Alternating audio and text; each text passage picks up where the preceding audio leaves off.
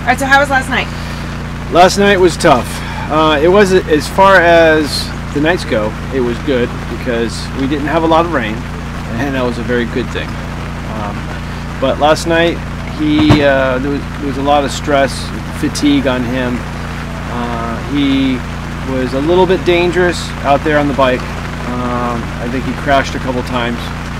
So we uh, tried to get some sleep in, and uh, he still had problems after he get a nap. He'd still have problems, uh, but we eventually, late, later on, we, we didn't get the mileage that we wanted to um, in the night, but he did pretty good. And at the end, he was doing real good and uh, um, finished off the bike and went right onto the run pretty pretty soon after the bike. And uh, right now, he's looking amazing. I mean, I can't imagine. I can't even imagine um, doing what he has done uh, ever. He is just uh, incredible, and I am I'm I'm exhausted. You know, I, I've been up for days, and he's still looking like he's um, really good. Right now, he's doing a slow transition. He started off um, uh, walking and just slowing his body into the run, and now he's slow.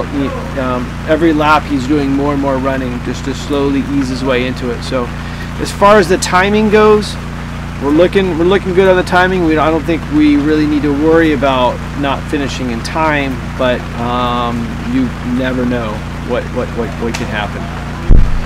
I heard something happened last night with having to help somebody else out.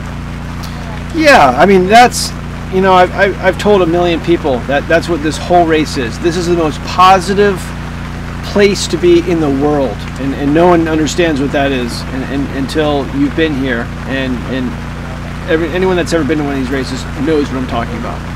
And everyone is helping everyone else out. And um, I was probably um, the, at the guys were across the street and they had a problem, and I went over and uh, they needed a wheel, and so um, one of the one of the uh, one of the women uh, was lending them the bike, and then as um, he got on the other bike and did one lap, uh, we have a backup bike, and it didn't even occur to me, and I, I grabbed that out, and the wheel fit his bike.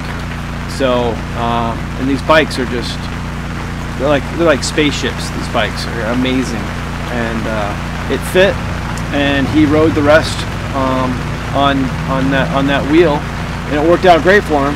And um, it, it's funny because they, they, they just brought the wheel back, but uh, and they're real apologetic, and I'm like, you know, that's ridiculous. Don't be apologetic because that's what the race is all about. We'll check in with you later. Great, Okay, thank you. thanks.